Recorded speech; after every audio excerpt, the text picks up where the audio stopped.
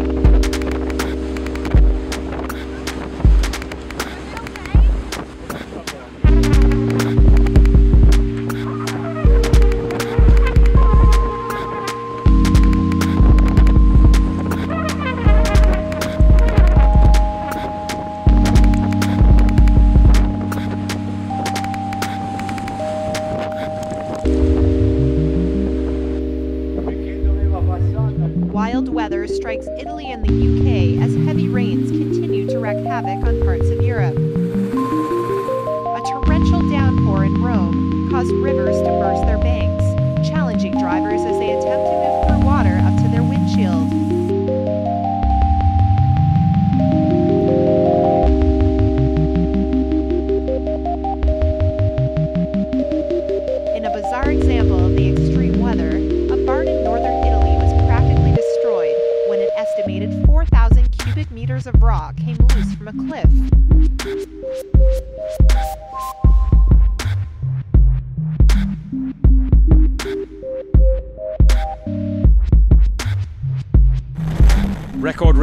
southeastern France has led to floods in which two people have died, one person in his cellar, another was swept away in his car.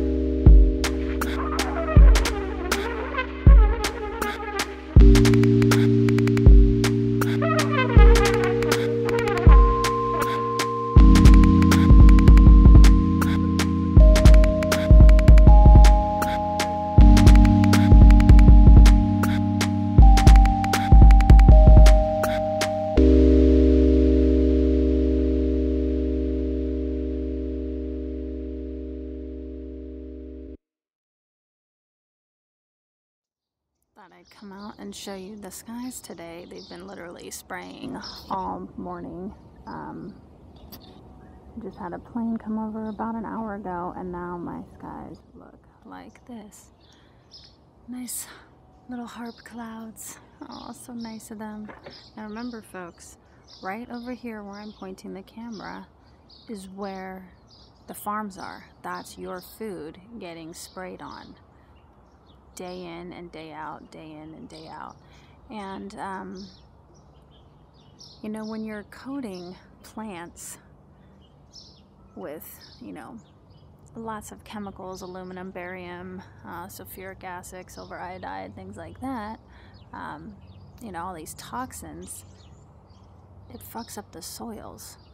It's also causing a major drought here in California, which is going to affect your food um, and the aspect of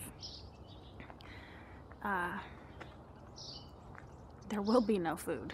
You know, California, I think they say, um, is responsible for two thirds, two thirds of the country's food.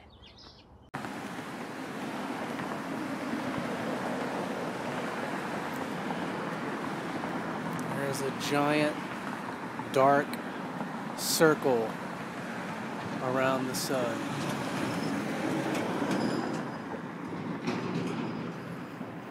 Hmm, Sundog or whatever you want to call it, it's there. But all those chemtrails or whatever they're spraying in the sky is trying to hide whatever is there. Something is there, it's dark. And you can see the darkness and the background shadow of the sky.